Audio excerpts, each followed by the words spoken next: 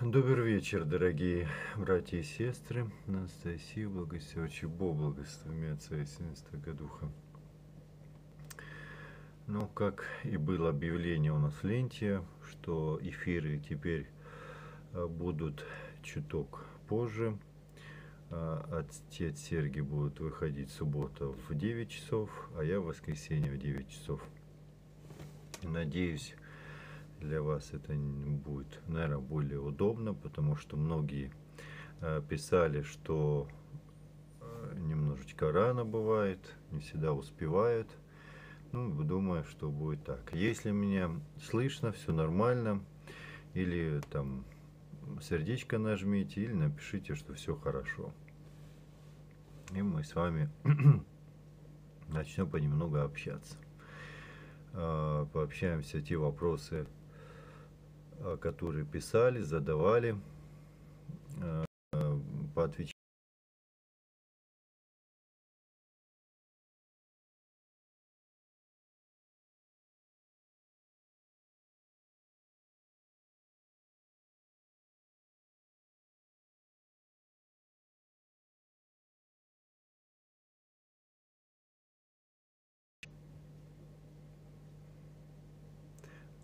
Вроде бы стабилизировалось, слава богу.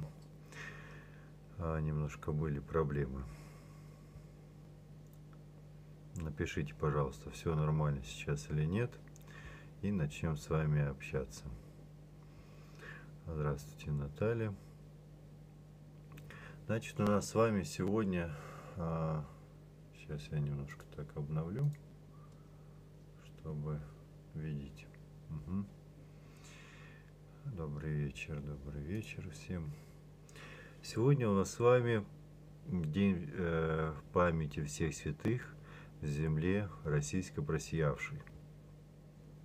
Конечно, мы всех вспоминаем, э, кого-то больше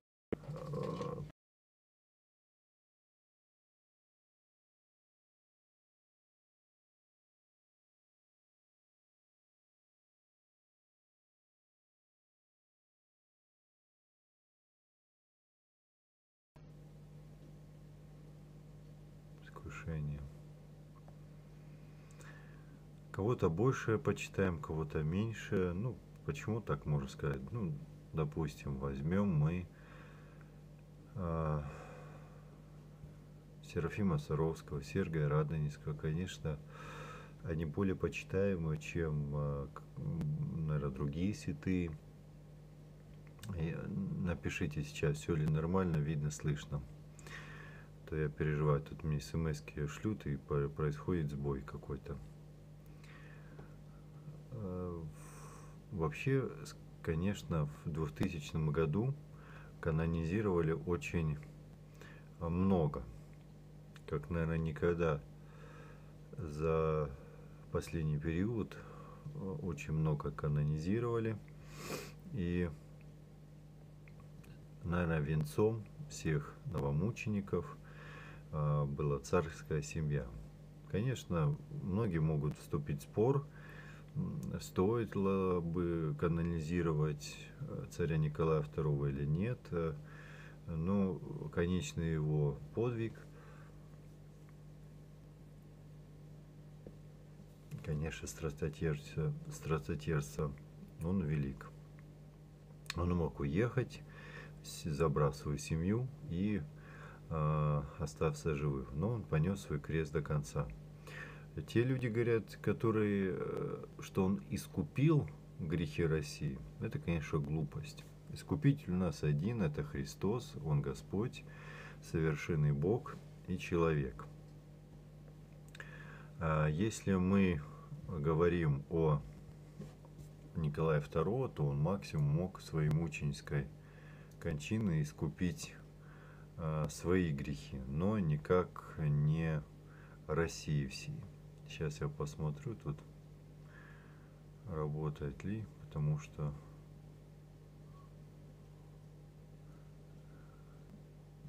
не пойму, виснет до сих пор.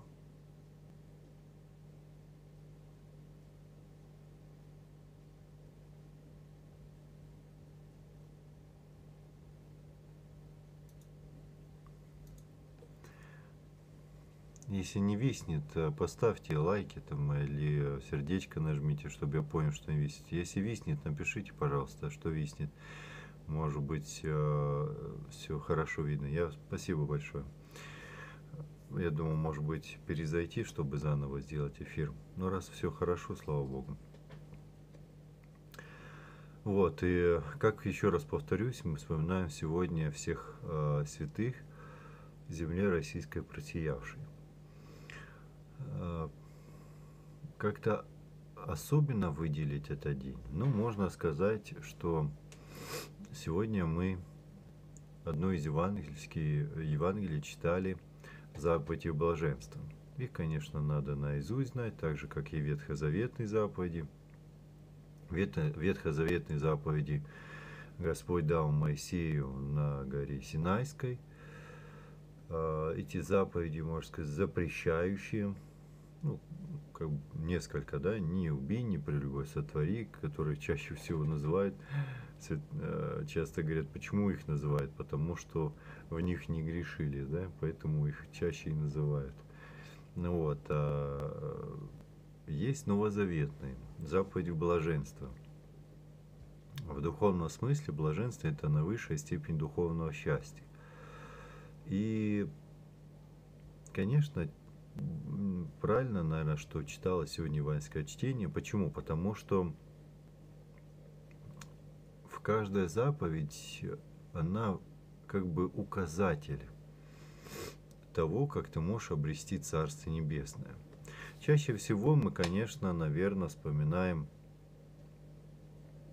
из заповеди блаженств, э, наверное, блажение чистые сердцем.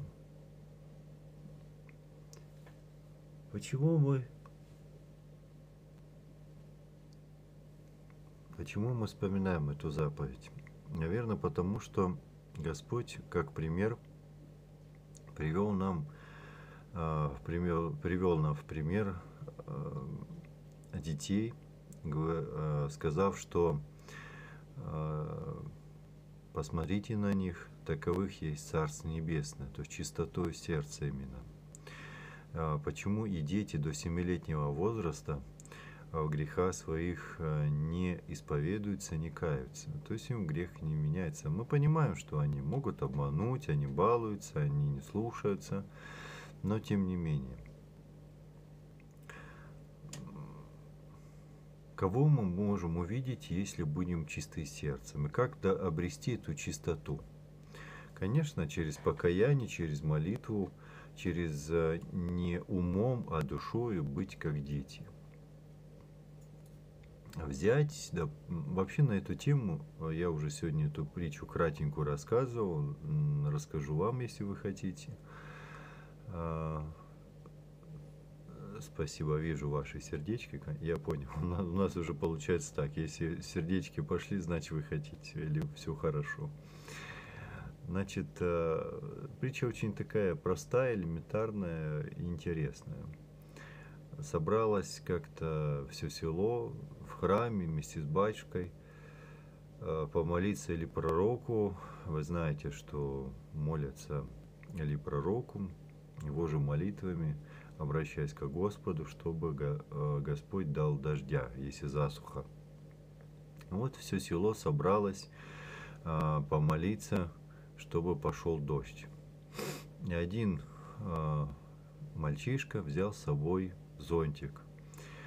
Придя на молебень, на начало всякого благого дела, ага, я понял, на начало всякого благого дела – а ему стали говорить, глупый, зачем ты взял с собой зонтик? Ты потеряешь, сломаешь.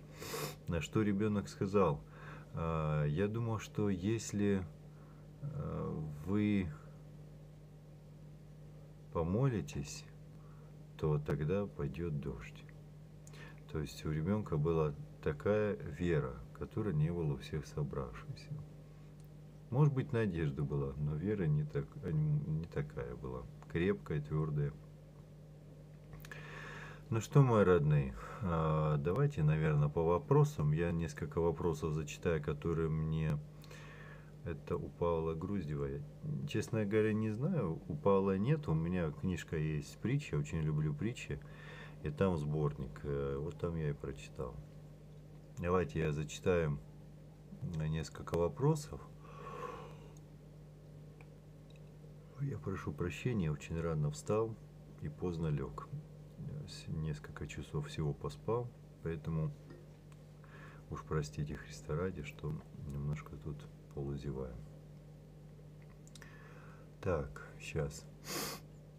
Значит, батюшка, мне крайне стыдно спрашивать о такой проблеме.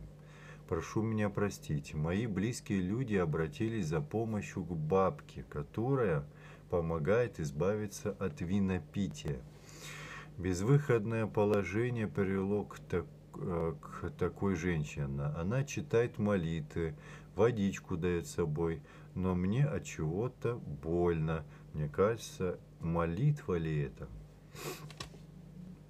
Ну, весь нет. Ну, вроде у меня все замечательно. Это искушение сегодня с этим эфиром. Что такое? Непонятно. А, ну, отвечу на вопрос. Ну, вроде бы все не у всех виснет, слава богу.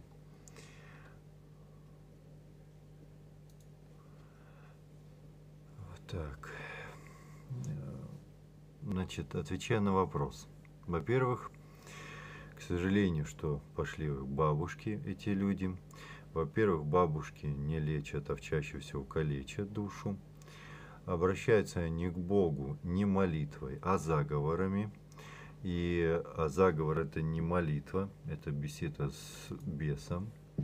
Вот. А, и водичку чаще всего они наговаривают. Или просят из храма принести святую водичку. Просто вдумайтесь, а, в чем лукавство. Все элементарно и просто. Часто они говорят, сходите в храм поисповедь, причтитесь, потом приходите ко мне. То есть люди идут, поют совету в храм, а, исповедься причащаются, поисповедившись в душе становится легче, уже. А, люди причащаются, Господь начинает врачевать, берут святую водичку, приходят а, в храм, где, э, вернее, э, приходят к ней после храма, естественно, душа уже начинает врачеваться. Она начинает это осквернять, питаться, если можно так сказать, этим. А, и обставившись иконами, как атрибутикой, а, ведь э, всем вам известно, что э, бесы знают священное писание. Вспомните, когда искушали, искушал лукавый Господа на горе, а, он цитировал священное писание. «И не прикнешь о камень ногу твою». А, вот. Поэтому бесы Бога знают, но они трепещут перед ним. А всякого рода бабушки, которые служат бесу, они лукаво приводят и губят души а, наивных людей. После того, как уже Господь врачует, помогает, а, люди приходят к бабушке, и она все, ну если можно так выразиться, все эти лавры переписывает себе. А мы, к сожалению, наивно верим по простоте своей души. Вместо того, чтобы сразу пойти в храм, а, опять-таки вопрос возникал о винопитии. Вместо того, чтобы а, помолиться вместе со священником, там, в чине молебен всякого благого дела, или о болящем, с, допустим, с молитвой неупиваемой чаши, самим читать Акафию с неупиваемой чаши, то есть человеку бороться. А, пошли кавычках легким путем, но очень губительным. Вот вам первый ответ на вопрос. Давайте посмотрим, здесь у меня уже что-то написали. Так, отец Константин, скажите, а есть ли где-то взрослый, где-то такой взрослый человек, чистый сердцем, духом, которому суждено было видеть Всевышнего. Ну, в принципе, можно привести пример и в Ветхом Завете, и в Новом Завете. В Ветхом Завете мы можем привести пример Авраама, которому пришла Троица по Мамритским дубам, вы помните. И Авраам видел Троицу. В Новом Завете, по сути, это наш с вами русский святой, это Александр Свирский, которого мощи, как отобразилась, допустим, эта встреча с Троицей на нем, на, в его жизни, даже посмертно. Сегодня его мощи нетленные, температура тела усопшего человека 36,6. Вот вам а, таким образом. Он тоже видел Троицу. Александр Свирский. Так, Ваечка, добрый вечер. Скажите мне, пожалуйста, как можно убрать голоса и бесов? Читайте воскресный Бог, исповедаться, причащаться. Если есть необходимость по усмотрению батюшки вашего, а, ну, можно, в принципе, если где-то проводят отчитку, поехать на отчитку. Но почему по усмотрению батюшки? Потому что батюшка вас конкретнее знает, он знает, э, э, духовно ли это болезнь, то ли это психи, психическое заболевание, потому что есть в, в свои моменты и там, и там. Поэтому, конечно, лучше к священнику, который вас знает. Христос воскресе, учи мира и добра вам благословите. Воистину воскресе Бог благословен Отца и Сына и Святого Духа. Давид Сириец. Спасибо, Господи. Так, дальше. Отец Константин, а как же святая Матрушка? Она же тоже помогала и лечила. Ну, давайте так, Матронушка согласен с вами. Ну, во-первых, здесь явно, что э, святой человек, явно гонимый за веру, э, не верою, а за веру, э, в которую признавала церковь, а не говорила, что это какая-то шалтанка. По-моему, тут все элементарно и просто. Здравствуйте, скажите, пожалуйста, вы батюшка или нет? Да, священник. Служу 10 лет в Русской Православной Церкви. На перстный крест только священник носит. Спасибо, Господи, Анастасия, все правильно. Здравствуйте, скажите, я читала, что Господь никогда не наказывает. Такого слова нет. Бог наказал. А выражение кара Господня, что это значит? Ну, я, честно говоря, тоже э, воздержался от понятия кара Господня. Я больше склонен к выражению Господь попускает. Но вот для чего попускает, это другой вопрос. А, вы знаете, мы очень много планируем. Планируем. Такое ощущение, что мы будем жить не сто лет максимум, а тысячу лет. Вы знаете, вот э, случай у меня был. Я как-то в больницу попал с прединфарктным состоянием. В этот день я столько понапланировал, думал, э, как вот вспоминаю этот день, очень много, думаю, переделаю. Вот мне что-то плохо стало. Ну, привезли в больницу, думаю, сейчас откапывают, сейчас все будет нормально, я поеду дальше. А тут полчаса, час, два часа, и что-то мне никак не легче. И уже на третий час, когда, ну, вроде как, как бы чуть-чуть легче стало, пришло осознание, что что ты планируешь? А, пришло осознание того, что Зачем Господь тебе это попустил? Чтобы указать на твою немощь телесную и душевную. И что у Господа свой гениальный план на каждого человека. То есть он попускает порою человеку, чтобы отрезвить его. Ну, знаете, так, может, грубовато будет звучать, тру, струхануть его и сказать, вспомни, кто ты, где ты и зачем ты. И тогда ты понимаешь, а никуда лететь не надо. И все ты успеешь. Не сегодня, а завтра. Не завтра, послезавтра. Но если это нужно, если это угодно Богу, а если не угодно, Господи, отведи. Потому что это не мне, не моей душе, не в совокупе все, что вокруг меня, это не полезно. Поэтому вот э, кара небесная я бы не стал выражение такое применять. А как Господь попустил для вразумления, может быть. Давайте дальше. А, да, ничего не видно и, и слышно. Не знаю, мы родные. Кто-то пишет, все видно, кто-то говорит, нет. А если в Священном Писании указание Божие о подвиге монашества, почему люди уходят в монастырь? Вот я, честно говоря, сейчас не помню, но, по-моему, у евреев, вот сейчас не помню, врать не буду, но, по-моему, а, было одно из направлений подобием монашествующих, которые жили, жили так от, а, отшельнически. А относительно монашества, конечно же, это уже Новый Завет, это Антоний Великий, это Египет, пустыня, куда э, люди уходили, чтобы у, в уединение, э, отрекаясь, скажем так, оставляя все мирское, чтобы посвятить свою жизнь Богу. Я вам скажу так, даже в какой-то период епископы были женатые.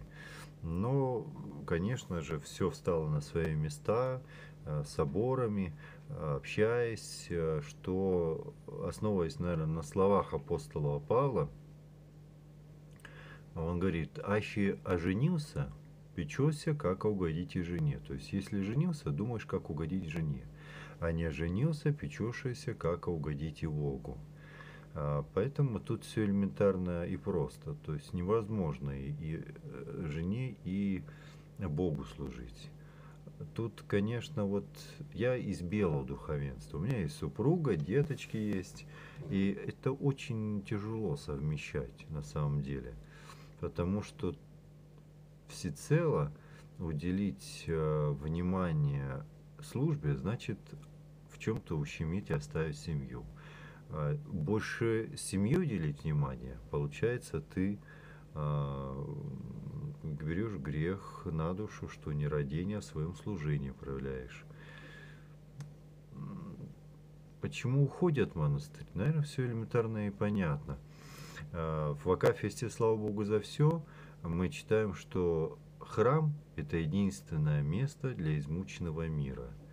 Если мы берем монастырь, это очень сложное место на самом деле. Там не просто люди пришли, а, молятся, им там кушать приносят. Там тоже свой труд, свой подвиг, а, и телесный, и духовный, там свои искушения есть, испытания. На самом деле это не все так просто, как люди а, в миру думают. Я вот уйду в монастырь и все. А в монастыре свои есть труды, как я уже сказал, искушения. Так, а в современном мире это актуально? Я бы сказал бы все больше и больше.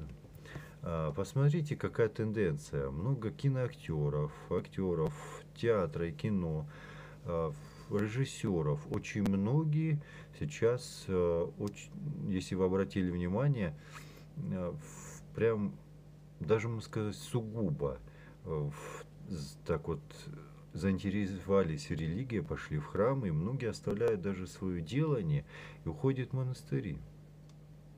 Почему? Возникает вопрос, почему такие ну, достаточно известные люди, а, имея и финансовую базу, и какую-то известность, оставляют все это? Элементарно все просто.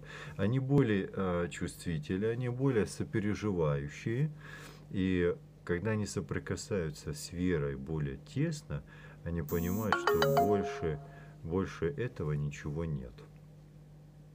И становится все на свои места.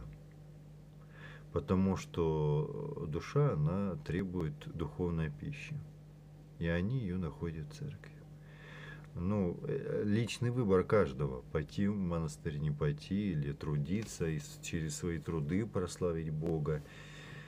Вот, допустим, допустим, Федор Емельяненко, да, спортсмен. А, я смотрел его интервью, он говорит, я стараюсь подчеркнуть, что все мои победы – это победы во славу Божию или Богу. То есть, пожалуйста, почему бы и нет? Ну, вот так. Давайте, задавайте свои вопросы. Пока вы задаете свои вопросы, я прочитаю тут еще один вопрос. Бог – это Дух, но Христос в Евангелии мы можем прочитать, говорит, что Бог есть Дух, а еще кто ему кланяется, то есть почитает. А, но э, в каком плане Дух? То, что мы его необозримо не можем видеть, но он везде сущ. А вообще мы верим в Троицу, Отца и Сына и Святого Духа, и единосущную и нераздельную. Так, ну давайте, раз вы здесь уже написали, ваш прочитаем. Так, скажите, пожалуйста, как найти духовника, если нет, сейчас убежала, если нет доверия? Но если нет доверия, никак не найдете. Но хотя бы э, для начала начните молиться. Молиться, просить у Господа, чтобы Он оказал вам на твоего пастыря, который всецело вы раскроете душу для начала, а потом уже, если почувствуете подмогу, а, как вы говорите, доверие, ну тогда уже а, попросите, чтобы он был духовником. Но только я вам скажу одну вещь. Если вам откажут, не обижайтесь.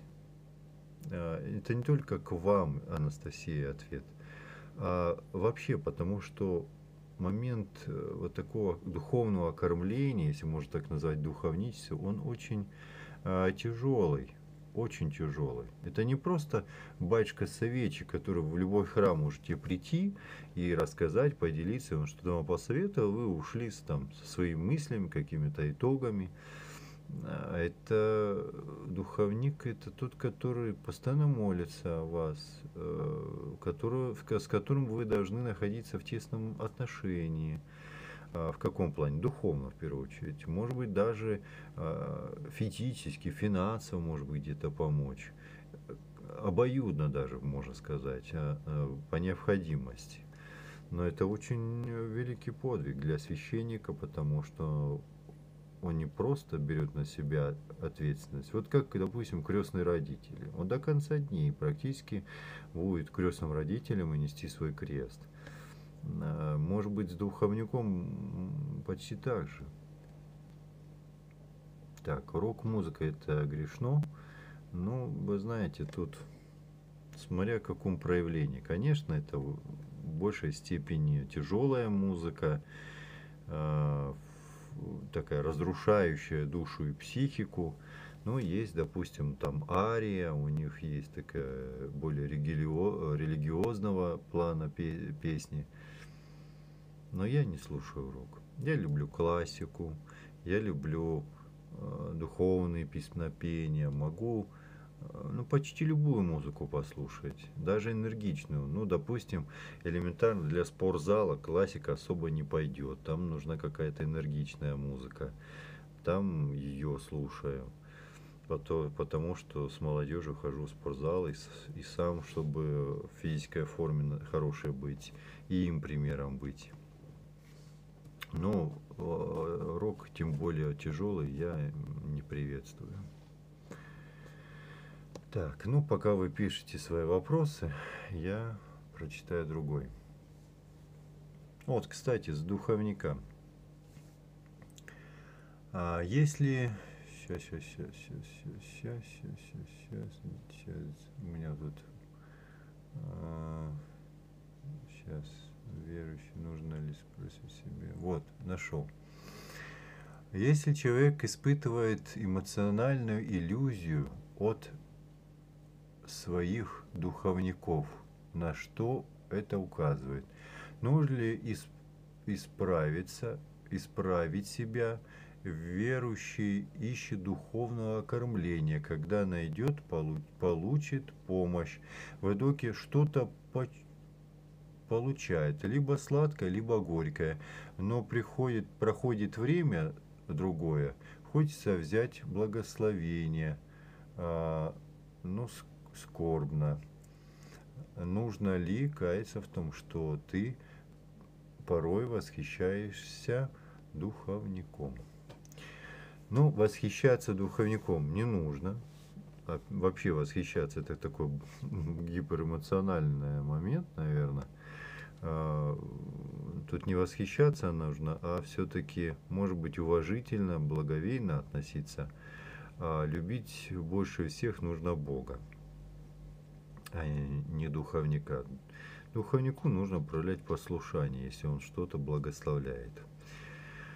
А иллюзии какие-то, мечты, конечно, это опасно очень, очень опасно, потому что может произойти какое-то искушение. И поверьте, что сам батюшка может не, не, не выдержать, не справиться, потому что он человек, может быть какое-то искушение. Я смотрю, много входит, выходит. Напишите, пожалуйста, нормально меня слышно, видно. Э, не виснет ли, потому что я не пойму, почему у нас так много заходит, много выходит в эфире. Будьте добры, напишите. А, ну вот вижу, да, сердечки, значит все нормально. Спасибо. Вот, ну, жду ваших еще вопросов, если таковые есть. Сегодня у нас такой немножко слабенький эфир, не так вы активны были есть, вернее, сегодня. Если не духовника, можно ли э, уйти в монастырь и как узнать, если, э, если на это воля Божия?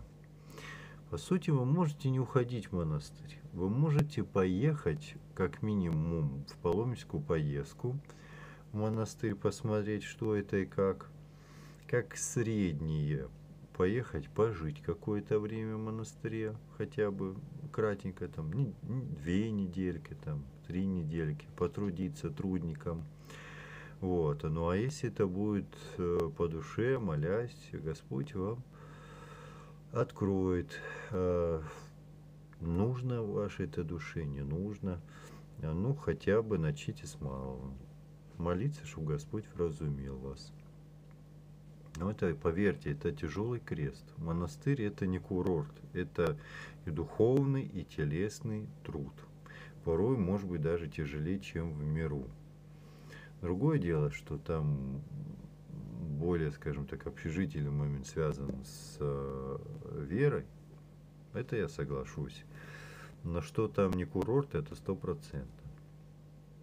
Там и трудятся, и молятся. И распорядок достаточно очень тяжелый. Рано подъем, может быть, не всегда рано спать ложишься, но тем не менее. Давайте следующий вопрос. Познакомились с молодым человеком через интернет. Вышла замуж за него, потом оказалось, что он а, многое наврал. Но это актуально сегодня. Сегодня многие через интернет а, знакомятся. На тот момент прислуживал в алтаре, но из-за обмана через шесть дней после нашего венчания его уволили. После выхода замуж у меня вся жизнь изменилась к худшему. А никак не могу причаститься уже несколько лет. Какое-то наваждение. А, ну вот достаточно вообще тяжелый вопрос. Я видел, что вы там, Галина, написала. Но сейчас я отвечу на этот и потом отвечу на ваш, Галина. Конечно, мы часто выдаем желаемое за действительное, к сожалению. Мы хотим быть лучше, но когда у человека есть сугубо осознание, что ты хуже всех, не гнобить себя, не в э, депрессии водить, а осознание того, что ты хуже кого-либо в плане грехов, тогда ты меньше осуждаешь, больше людей оправдываешь, даже обидчиков своих. Легко справиться с обидой и гневом, когда ты человека оправдываешь. А, в частности, вот это вопрос, через интернет они познакомились. Познакомиться не вопрос, можно познакомиться, почему бы и нет, одна из, прич... одна из возможностей. Но потом же нужно общаться вживую, а больше интересоваться. А, вот когда есть духовник у одного другого, он может благословить, пообщаться там с будущей второй половинкой твоей и что-то сказать хорошая девушка, или еще пообщайся. Не говорит, не скажет никогда. Я никогда не говорю, что все, не общайся, не нужна тебе такая. А, может быть, обрати на это внимание, как ты с этим будешь жить, чтобы человек сам э, понимал, осознавал, а как ему дальше строить отношения или не строить. Насильно мил не будешь, как говорится. Поэтому вот то, что произошло, как итог, это неудивительно. А, другое дело, что очень прискорбно, что прислуживая в алтаре, а алтарь, прошу прощения, алтарь это сугубое место на земле, можно сказать, рай на земле, это, конечно, прискорбно. И ничего удивительного, что его уволили с алтаря, потому что человек должен осознавать, куда ты заходишь. Ведь мы также в песнопениях можем услышать, и ангелы мечтают при кнуте а, во время литургии, да, где восседает Господь на престоле. То есть на престоле Господь во время божественной литургии, Евхаристии восседает. И мы, входя в алтарь, должны сугубо проявлять благоговение, трепетное отношение к тому, что происходит. А, это награда определенная, быть, быть в алтаре. А, э, почему женщины не могут? Потому что, ну, конечно, очень замоторелые, монашествующие женщины, им дозволяется войти в порядке исключения. Э, там, за ризницей ухаживать, там, прибраться. Но это крайний случай. Я один раз в жизни вообще с этим сталкивался. Ну, как бы именно монашествующий. Почему не может причащаться? Какое-то разочарование, разочарование в человеке, но не в Боге. Ты соединяйся со Господом, а не с человеком. Поэтому здесь, конечно, нужно подкрепить душу и покаяться в, может быть, обиде на него. Так, а почему же так людям у вас там как трудно. А, почему в монастыре так трудно? Ну, вы знаете, я вам, наверное, проще отвечу. Вот легко в, в ад можно жить, развлекаться, э, изменять и тому подобное. То есть жить только в грехе. Но когда ты оставляешь все, чтобы посвятить свою Богу, лукавому это не угодно. И получается, что он начинает искушать тебя, чтобы отвести тебя от Бога. И эти искушения порой не всегда человек э, может вынести. По слабости духа, тела, немощи своей. А почему трудно? Потому что Царство Небесное легко не дается. Вот давайте элементарный пример, да? Я вот нашей трансляции, наш проект воспринимаю как служение Богу. Потому что имею великую веру и надежду, что какой-то ответ будет кому-то полезен для его души, для спасения души. Хотя в это же самое время мог бы уделить э, больше внимания своим детям и семье. Что мне выгоднее больше? если так вот сказать. Конечно, с семьей побыть, с детками побыть, но тем не менее я понимаю, что к Господу путь тяжелый и тернистый. И я должен э, приводить к Господу, спасать свою душу и тех, кто стоит за моей спиной. В частности, быть в первую очередь помощником в спасении а вам уже решать, достойно ли это делаю или недостойно. Так, здесь что-то еще написали. Так, ничего не слышно. Что сегодня с эфиром, непонятно. Почему э, то слышно, то не слышно. А, будьте добры, напишите мне, не сердечки, а вот конкретно пишите, кому вот слышно или не слышно. Давайте проще сделаем, плюсик, минус, слышно или не слышно. Я ничего не пойму, столько выходит, столько заходит.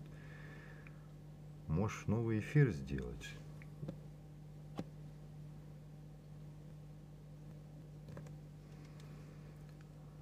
Кто-нибудь напишите, слышно, не слышно.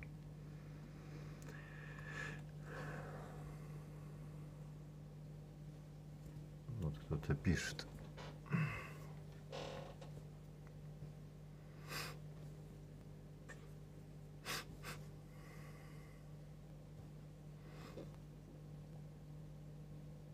Слышно хорошо. Спасибо, Господи, Елена. Ну, давайте вы пишите свои вопросы, а я, наверное, тут еще поищу какой-нибудь еще для вас. Так.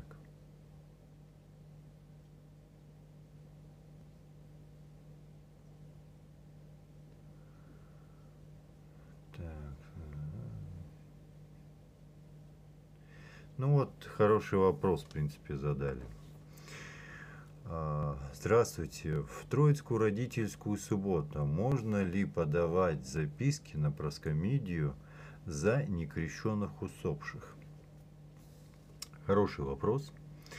А, значит, э, спасибо, Господи, что написали, что слышно, благодарю. А, хороший вопрос. Во-первых, Троицкая родительская суббота сугубо никак ничем не отличается от других э, поминальных субботы и, и дней.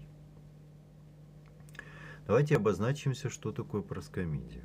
Проскомидия – это первая часть, э, ну, если можно так сказать, службы на, в алтаре, когда батюшка готовит, то есть такое вот причастие, будущее, скажем так, причастие, потому что э, тело и кровь оно притворяется, ну, если можно так сказать, в середине службы, после великого входа. Вы помните, когда батюшка несет чашу и потир и ставит это на престол. Это символизирует в духовном смысле шествие Господа на Голгофу. Вот, а проскомидия – это первая часть, на которой батюшка э, из просворочек э, э, вынимает частички. И в том числе о упокоении и о здравии. Вот. А, и на проскомидии, и не проскомидии а, частички за некрещенных не вынимаются. Вынимаются только о крещенных.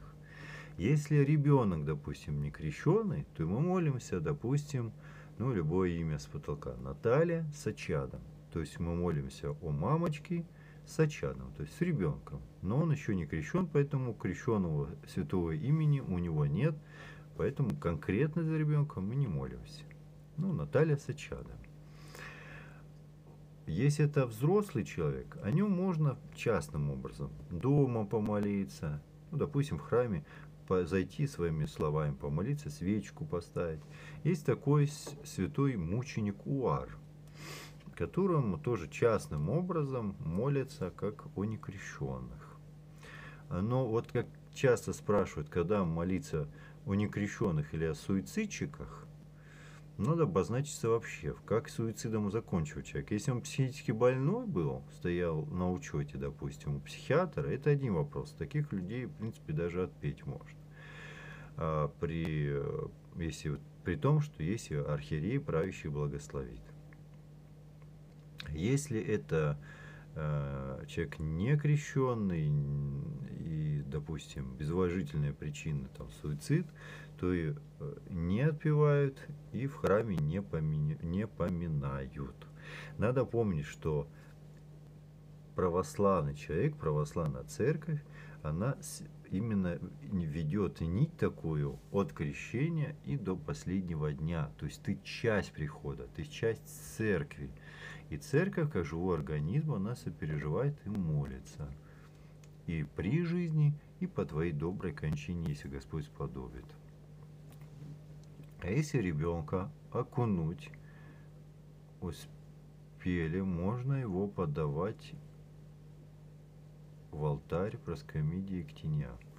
Не совсем понял, Анастасия, что значит окунуть. Вы знаете, я вам сейчас скажу.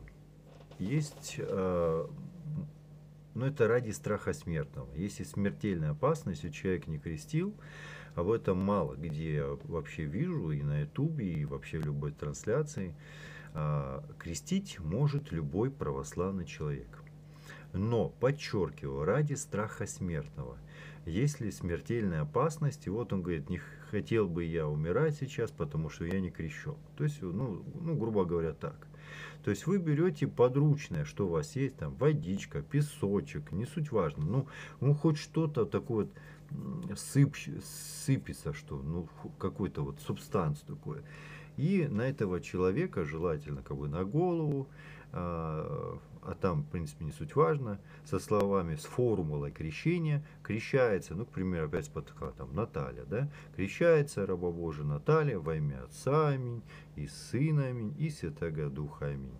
Если человек, ну, в частности, Наталья, выжила, там, слава тебе Господи, то она приходит в храм или приводит ее, и уже батюшка э, завершает все, что необходимо миропомазывание, то есть все, что необходимо для э, завершения всего таинства. То есть таинство это то, что установил Господь, а треба, потребность, ну, например, там, освещение машины, освещение дома, это не таинство. Его можно там что-то, если крайне необходимо, э, сократить или наоборот дополнить какие-то молитвами. Вот. А таинства нет. Таинство как есть, так мы вычитываем от начала до конца. Почему? Потому что в первую очередь это Господь совершает по молитве священника. Вот. Вот даже во время венчания есть такие слова, когда священник возносит руки и говорит «Славу и честь венчая». Да? С одной стороны, я, ну как я, да, понимается, а я в, в данной транскрипции, то есть ты, Господи, славу и честь венчай ты, Господи. Не я грешник, а ты, Господи. Но, к сожалению, мы не знаем церковного славянского языка, не изучаем его, поэтому не всегда и, пони, не всегда и понимаем. Вот, поэтому, а, если, как вы говорите, ребенка окун, окунуть, можно ли его подавать? Но если вы сами окунете, это еще не крещение. А, и подавать записки, ну как бы, подать-то можно, понимаете, вот, вот как вам объяснить? Ну, может, глупый пример будет, но как пример, да? А, вот представьте, что есть машина, ну, какая очень дорогая, Феррари, к примеру, да? И эту машину надо обязательно заливать в нее 98 бензин. Вот 98 бензин это вот правильно, как положено, таинство крещения. И тогда уже вы можете молиться и подавать записки и все остальное. А вы забили, залили в него 76 бензин. Вроде бензин, вроде поехать должна, но через 5 метров двигатель умрет у этой Феррари. То есть это то же самое почти. То есть человек, конечно, не, не умрет, я условно выражаюсь. Вроде ваша попытка это хорошо, с одной стороны. Доброе дело хотите сделать, э, чтобы помолились о человеке. Но нужно это сделать как правильно, а не э, авось получится, авось пригодится. Э, Господь не зря говорит, что э, всяко делаю Божие с пренебрежением, с нерадением, да проклят будет. То есть нельзя Божие делать на авось. Нужно делать его с полной ответственностью и с трепетом. Если нательный крестик не освящен, он бесполезен или все же несет свою силу? Конечно же несет, безусловно. Почему объясню? Потому что не священник освящает крест, а Господь по молитве священника. А, это во-первых. И освящает именно тот, кто изображен на нем. Это Господь. А, почему мы несем крестик, как бы так выражаясь, осветить в храм? Потому что э, Господь не зря установил церковь, священство, потому что священник, обращаясь к Господу, он молится и о том человеке, который будет носить этот крестик. А если он сам пришел, чтобы ему осветили этот крестик, это еще лучше. Потому что чаще всего вот я сталкиваюсь с тем, что приносят бабушки, мамочки, а, потому что у нас мужчины, ну, простите, ну, в какой-то мере трусливые. А, можете со мной не согласиться? Я вам скажу так. Мы, они воины, они защитники, они кормильцы. Но в духовном плане они, если пришли, они до конца. Если не пришли, они лентяи. Потому что вот я поворачиваюсь э, на проповедь, к примеру, стоит 20 женщин и один мужчина. О чем это говорит? О том, что вы, платочки, может быть в какой-то мере фундамент церкви. Но мужчин любить надо. Мы без вас не можем никуда, вы без нас. Так. Бабушка во время войны крестила брата и просит записать на проскомидию. Он умер во время войны. Это исключительный момент. В таком случае можно. Почему? Потому что он все-таки умер, но она его крестила. А, вот это исключительный момент. Здесь все подходит, скажем так. Потому что он бы и, может быть, если выжил, хотел бы креститься, а, и вообще проблемы не было бы. А вот э, в таком случае, если она крестила его ради страха смертного, потому что гонения были, это допустимо. Я же говорю, любой э, православный христианин может крестить, но ради страха смертного в какой-то сугубой опасности. Извините, почему-то у нас обрезают, а у вас крестят, крестит. Разница какая?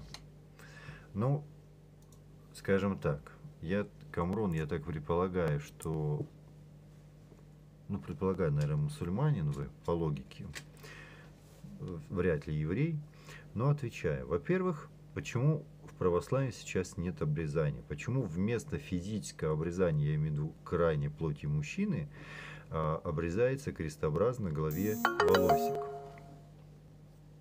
Потому что Господь исполнил Ветхий Завет, Он сам обрезался а, по закону э, еврейскому и дал бескровную жертву то есть принес себя на крестные страдания и дал бескровную жертву. Вспомните тайную вечерю. Все из тела мой хлеб взял, все кровь моя взяв вино, творите все воспоминания мои. А, поэтому сегодня у нас нету кровной жертвы. Господь отменил кровную жертву. И все, всякого рода а, жертвоприношения, там, а, там, тельцы, голуби и тому подобное. Поэтому поскольку ислам это синтез христианства, почему Библия есть, да, в какой-то мере, а, а как же барашка? Мы барашков не приносим в жертву. Вы, наверное, куда-то по ошибке зашли. Вот, а, немножко сбился я с мысли.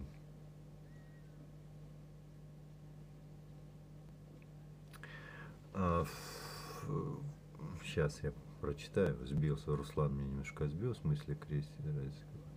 Вот. А, сбился все, простите Христа ради. А, потерял я мысли. Ты просто заблудишь. Слава Богу, если я заблудшь.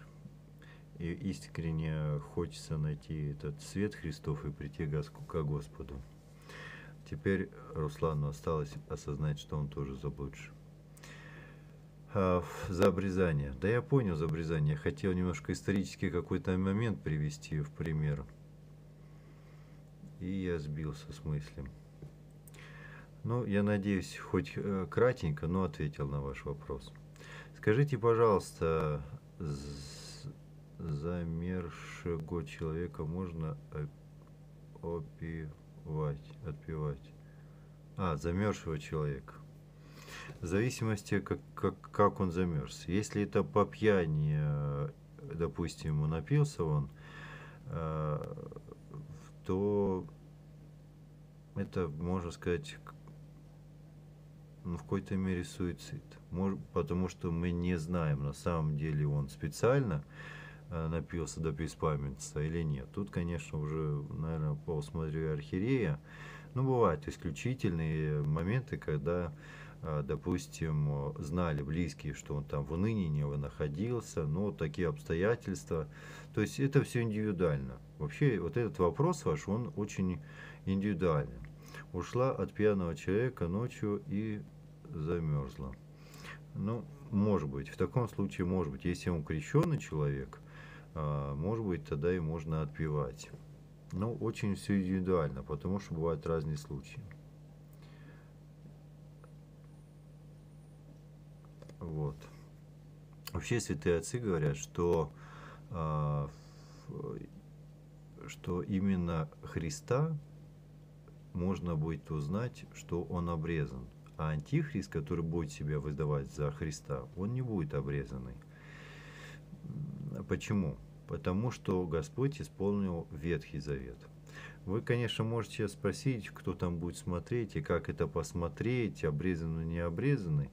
Но я вам не могу скажет, сказать, э, честно говоря, как это будет проверяться или не проверяться. Но Господь всецело, Христос исполнил завет э, ветхий, не отменил его, а преобразил, дополнил. Вот, э, поэтому относительно чисто какого-то физиологического момента необходимость. А, я вспомнил, что я хотел, слава Богу. Я говорил, что ислам, во-первых, он в восьмом веке э, основывается на синтезе христианства, почему Библия есть, присутствует, Э, в Коране э, язычество и иудаизм, иудеи, которые не приняли, не приняли Христа. Почему и ислам не признают э, Христа как Бога, а признают как его пророком. Вот, поэтому на основании того, что Христа не признали как Бога, ислам очень много, скажем, взял ветхозаветного а Новый Завет а, не отменил по большому, завет, по большому счету. Поэтому сохраняется обрезание. Вот, теперь вспомнил, слава тебе Господи. Вот так вот. Так, ответ на вопрос обрезания, что это? А, в Ветхом Завете это жертва Богу была, лично человека. Сегодня у нас бескровная жертва Богу, отрезается волосик. У человека, взрослый или младенец, не суть важно. А про чистоту, ну, тут я не обрезанный, у меня проблем нет, если вас биологический момент интересует. Давайте, мои родные, у кого еще какие вопросы, может быть, э, пишите, я тут какой-нибудь еще зачитаю. Вот, как раз в тему. А, так, прям, вот прям в тему, я бы сказал. Мой сын в 29 лет сделал обрезание и хотел сменить веру, принял ислам, но он крещенный и венчанный, и я и у него дочка двух лет. Услышать, слышать ничего не хочет, что делать в данной ситуации. А, я, по-моему, в предыдущем эфире отвечал, говорил этот ответ, да, что я писал. Нет, батюшка, вас тоже обрезание сделать. Мне не надо, спасибо Господи. Я без обрезания замечательно живу.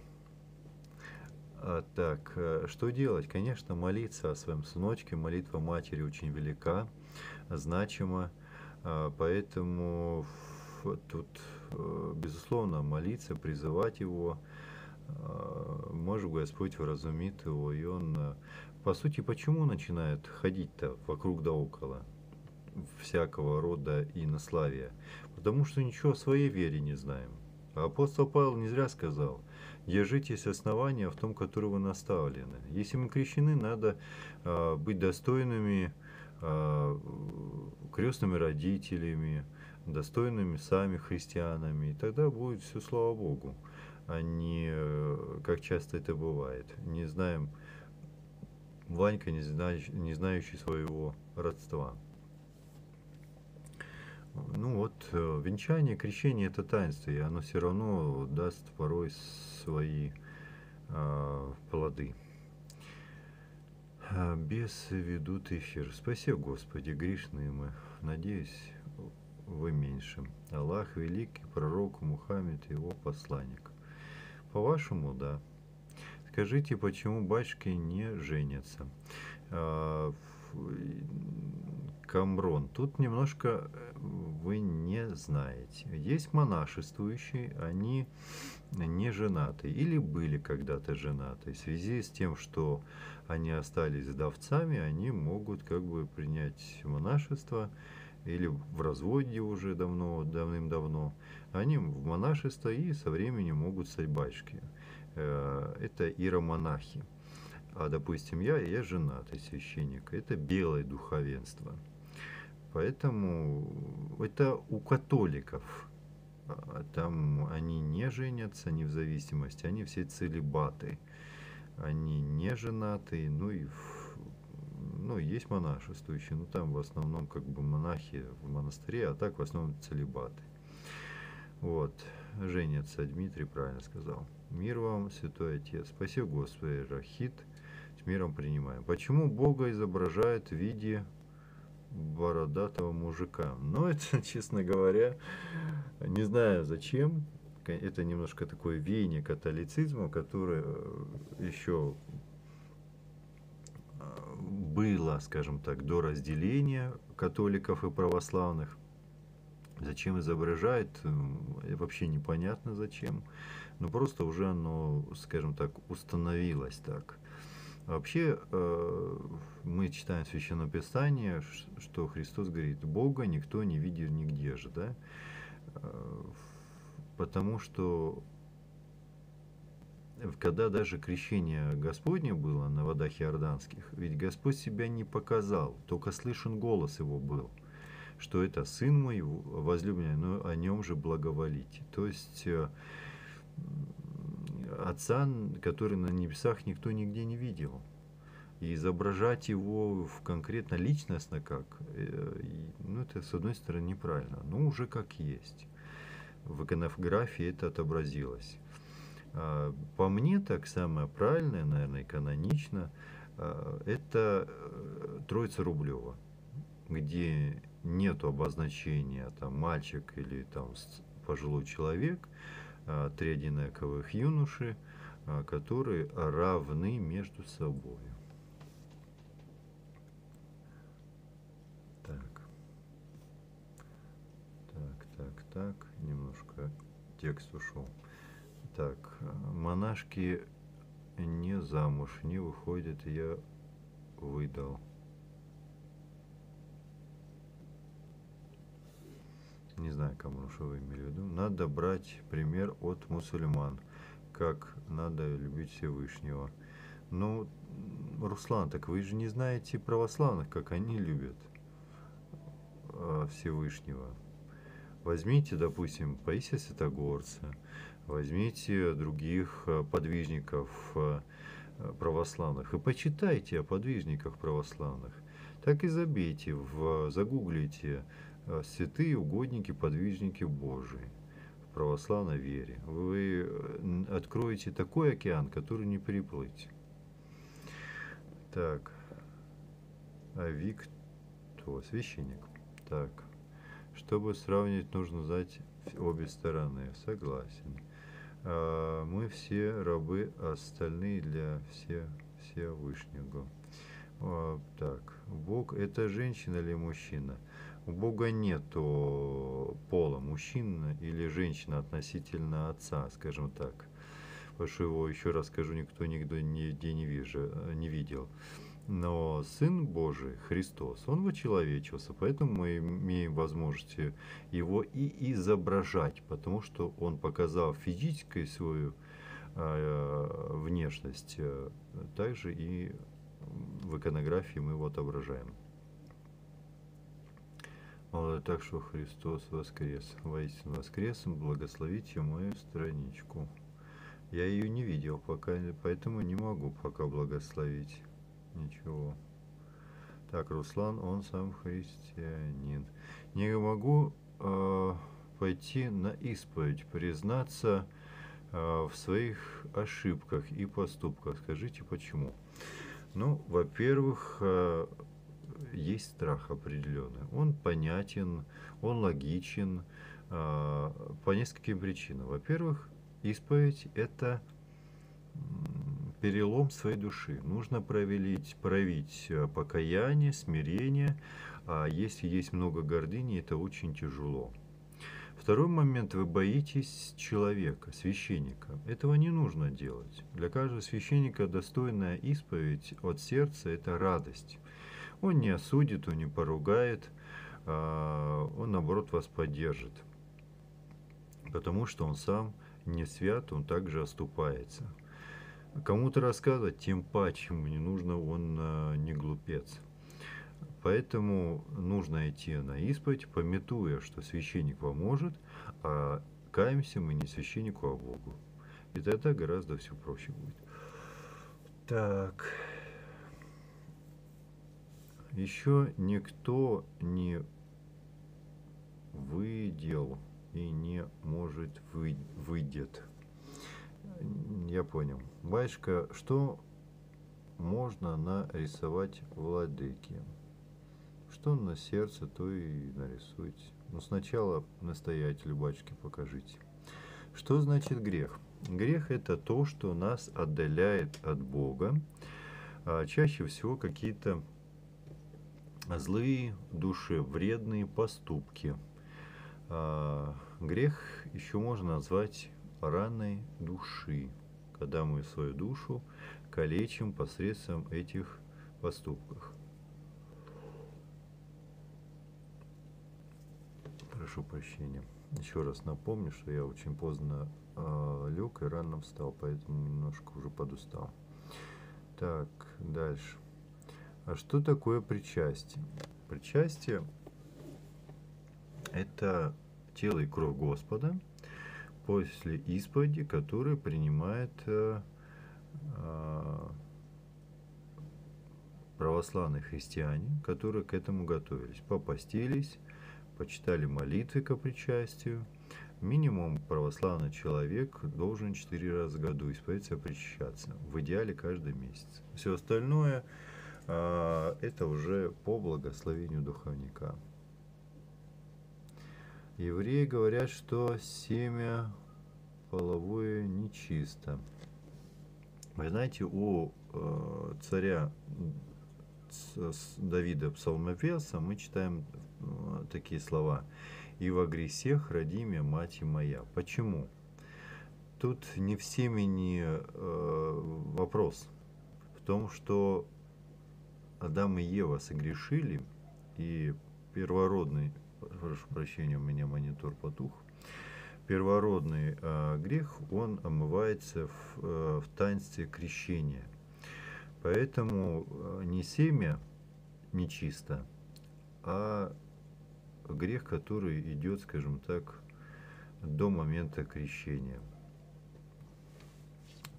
Вот так. Что мы тут? Ну вот мы час уже общаемся. Слава тебе, Господи. Если есть еще вопросы, пишите, задавайте. Если нет, тогда будем завершать наш эфир. Это неверно. Но вы скажите свою точку зрения, почему семя нечисто. По вашей логике тогда получается наши дети нечистые. Только в каком плане тогда нечистые? Что вы имеете в виду? Пожалуйста, я с интересом прочитаю. А в Коране есть все ответы. А, вы знаете, а, если вы почитаете э, апостол, послание апостола Павла к многим церквям, то тем паче у вас вопросов не останется. Ну а я, скажем, так, не гений, и э, наизусть все священное писание не знаю, хоть и читаю его постоянно. А, отвечаю без лицемерия и как есть. Если я чего-то не знаю, я лучше потом почитаю и отвечу. Поэтому лучше жить достойно, чем лукаво и лицемерно. Ну-ка, что вы тут написали? Библия 20, правда, остальные простите. Чего 20? Библия из 70 книг состоит, которые канонические. А есть еще не канонические, которые церковь не признает. Так, про семя недавно научно доказали. Что научно доказали? А корневище написано. Приветствую, батюшка. Ну, где-то что-то как-то, в общем, скажем так. А, приветствую, Владимир. Батюшка, скажите, пожалуйста, как правильно входить в брак и венчание? Правильно как? Ну, безусловно, сначала мы создаем семью, расписываемся, благословляемся у родителей на, на брак, а, и потом уже приходим в храм, а, говорим с батюшкой, когда он может нас обвенчать. А, есть, конечно, какие-то условия. Допустим, женщина не должна быть у нее женских дней. А, это не должен быть пост или на постный день переходящий день. Вот. Ну, то есть есть определенные критерии, Безусловно, кровное родство не может быть, не повенчают. Духовное родство, допустим, вы крестные крестные у одного ребенка тоже не повенчают. Это каноническое препятствие. Вот, поэтому есть ряд вопросов, которые нужно уточнять. Так, дальше. Все оплодотворение. Получается, если вы говорите, что грех о физической близости, ну, тогда да, скажите, что эко это чистое. Но при эко убиваются дети, а, которые, э, скажем так, пять оплодотворилось, а нужен один. Раз, давай, четыре убили. Хотя семя чистое, по вашей логике. Вот. Так, привет. Читал только недавно, а рассуждать надо. После а, каждое рассуждение всегда новое открываешь для себя. Ну, я так понял, что вы Священное Писание читаете. Да, я согласен.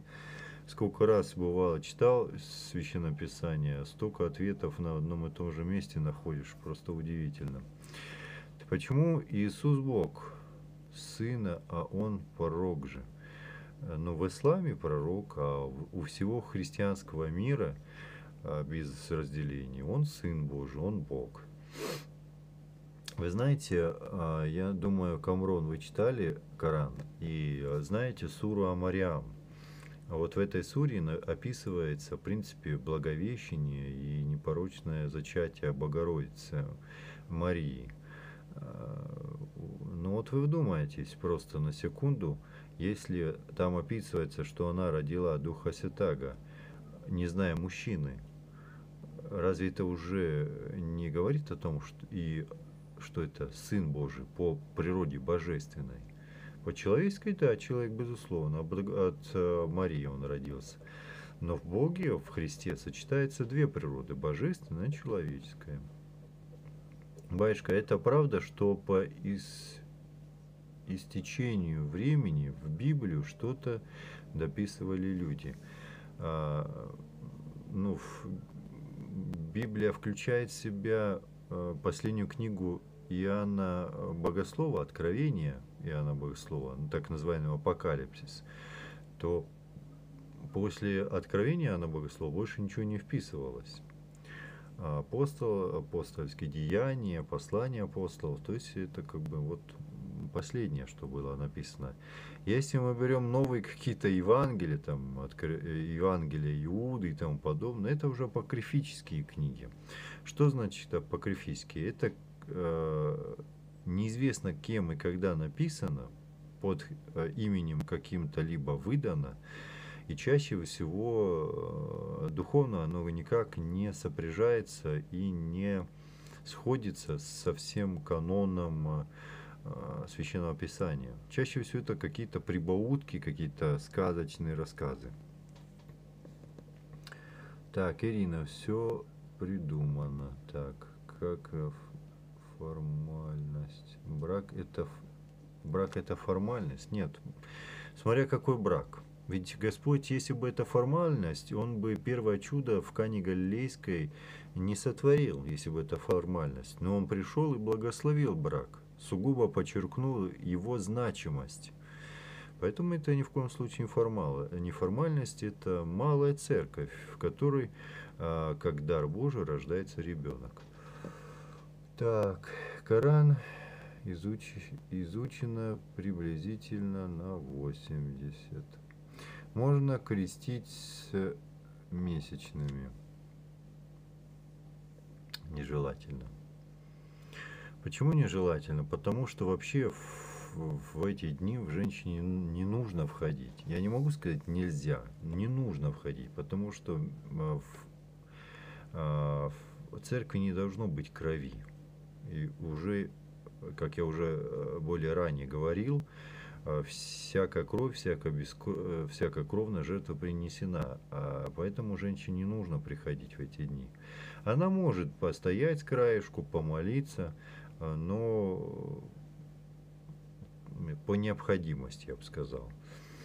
Вот, а таинство крещения это таинство, поэтому, ну, постарайтесь, это же не, не круглогодично. Одно дело немощь, другое дело, скажем так, а, кратенький период, э, в месячный период. Ну, подберите такое время, чтобы все было физически чисто. Привет, брат, приветствуем. Это как надо с батюшкой, надо беседовать один на один или с кем. Ну, с батюшкой посоветуюсь по этому вопросу. Нарисуйте, покажите. Так, здравствуйте. Какая вера? Православная. Добрый вечер, батюшка. Добрый. Какая церковь? Э, православная. Вы ком делать за занимаешь? Вы ком делом? Вы каким делом занимаетесь? Я понял. По латинице вы написали. Священник Русской Православной Церкви. Откуда вы, батюшка? Краснодарский край. Камрон. Как ты к нему, ты к нему хочешь? Наверное, хочет. И вы счастливая, наверное, хотите. Я смотрю, у вас там картинки красивые. Тоже, наверное, хотите. Так, дальше. Подскажите, пожалуйста, как венчание сделать правильно? Входите в храм и договоритесь с батюшкой, и он вам все разжует, расскажет, потому что беседу будет проводить с вами и с вашим э, супругом. Ну, обязательно расписаны должны быть. Во сколько можно ли, во сколько можно ли крестить? А, крестить можно минимум сколько есть дней минимум, по что бывает ради страха смертного крестят. Обычно на сороковой день крестят, вот, э, как правильно. Вот. Ну а если на сороковой день не крестили, уже, ну, когда крестят. Ладно. Ситал, а тебе не понимаю. Сто лет история читал. На каком месяце беременности нельзя проходить в храм? Глупость. На любом месяце нужно приходить. Я вам скажу больше, а, что не просто приходить, а вам, если, как, если вы о себе спрашиваете, как о беременной женщине, то причащаться нужно обязательно, подкреплять свою душу, потому что у вас еще одна душа под сердцем. А, разве закон о чистоте Ветхого Завета отменен? Ну, Господь весь преобразил Ветхий Завет и дал новый. Поэтому мы сейчас, если продолжается речь о обрезании, мы не обрезаемся.